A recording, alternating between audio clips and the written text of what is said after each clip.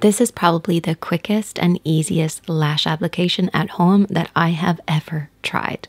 Not only that, but these are also the most long lasting lashes I've ever tried. I have showered, slept, taken a bath, and these stayed on perfectly for 24 hours.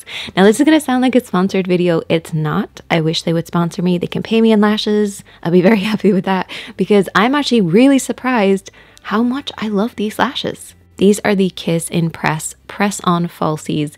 And I was at the launch in Cork, and I usually don't go to events because my illness is so bad, but I wanted to because I love Kiss. So I saved up all my spoons and I had the loveliest time. Everybody was so sweet, and they actually even made sure I was by the door in case I needed to leave. And Davy was also in the lobby waiting for me the whole night. But honestly, I was very skeptical that I was even going to like these, especially because it says that they don't use glue and also they're supposed to last 24 24 hours.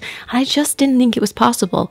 I did instantly like the tweezers, and I thought maybe that's all I was going to end up loafing from this. But they really impressed me. You see those five lines? Those are the pre-bonded lines, which basically means they're just sticky. But because of the placement of these lines and the fact that they are both sturdy and flexible, means they have excellent hold, they stay in place longer than any lashes I've ever used. These are placed underneath and pressed upwards, but they're also very easy to remove.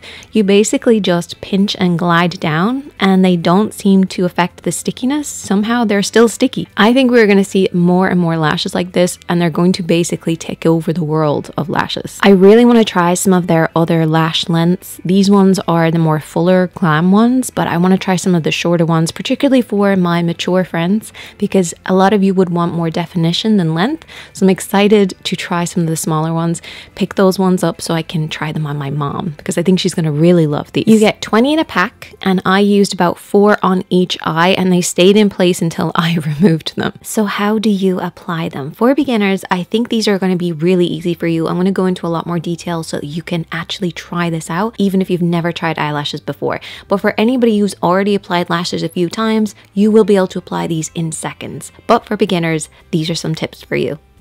Firstly, you want to tilt your head back a little bit, and this will just open up this space and allow you to see what you're doing. Next, if you can, raise your eyebrows. This is going to tighten this area and give you a little bit more control. Then what I want you to do is pick a point in the mirror and hold this position while you're applying. This is going to stop your eyes from flickering all over the place. Now, before you do anything, I want you to play around with the tweezers and get comfortable with them first. So gently clamp along the lash line. Hold the tweezers like higher up, lower down on the handle. Just get a little bit more comfortable with how you're going to hold them, the pressure and the grip that you have of them. Okay, now you're ready to take out one of the lashes and I want you to hold it in the middle, so just below the pre-bonded lines or maybe even where the curve of the lash is. We're going to start on the outer edge of the eye. I also didn't apply any mascara. If you want to apply mascara, that's totally fine, but you also want to make sure that your mascara is totally dry before you continue. So we have our lash, we're tilting our head back, eyebrows up, eyes fixed in a particular position, and we're just going to bring that lash up until it catches the outer edge of your natural lashes. Now it should hold a little right away because it's kind of sticky. Then all you want to do is to tap it into position with a closed tweezer. Now, for beginners, I always recommend doing a nice close or blink just to relax the eyes at this point. So, relax your eyes, open them, and then what you can do is open the tweezers and squeeze them right at the lash line, just in the same way that you were practicing earlier. Another thing that you can do is press the lid to expose the lash line a little bit more for you and very carefully squeeze. And then you just repeat the same process. As you can see, I'm placing it really close to the previous one, as close as I can get it. Now, once you have your first two on, you can leave it here and have a foxy, open cat eye kind of effect, or you can keep applying. Now, I've kind of judged it that I'm going to be applying four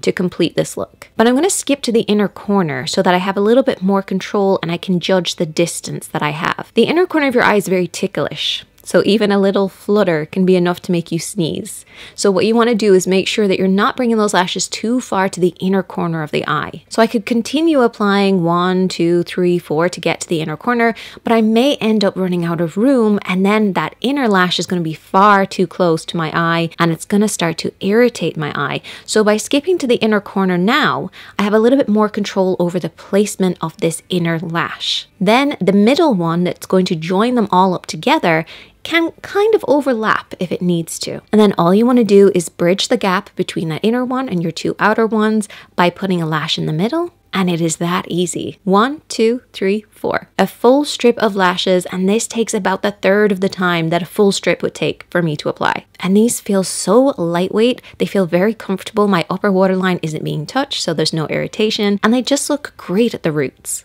Now, if you want to, you can take your eyelash curler and just do a very gentle, careful squeeze. This is just going to create more of a uniformal curve, but you don't necessarily have to do this because these lashes do hold their shape really well.